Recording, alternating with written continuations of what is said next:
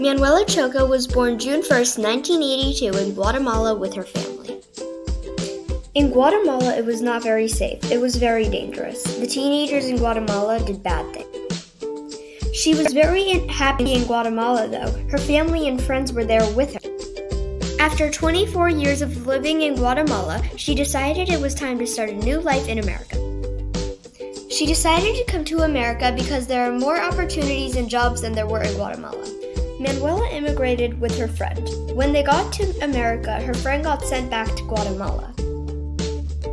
Manuela was welcomed into America by nice mean people. Most people were nicer than they were in Guatemala.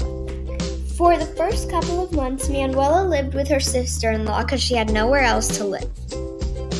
The first thing Manuela learned in America was the language. She needed to learn English because she needed to understand what people would say to her. When Manuela came to America, she brought pictures and food from her birth country with her. She bring food with her because she wouldn't be able to have the same food in America. She bring photos so she wouldn't forget anyone. Manuela went to visit her birth country in 2017. She had fun seeing her family, but she does not want to go back again. Right now, Manuela lives in Port Chester.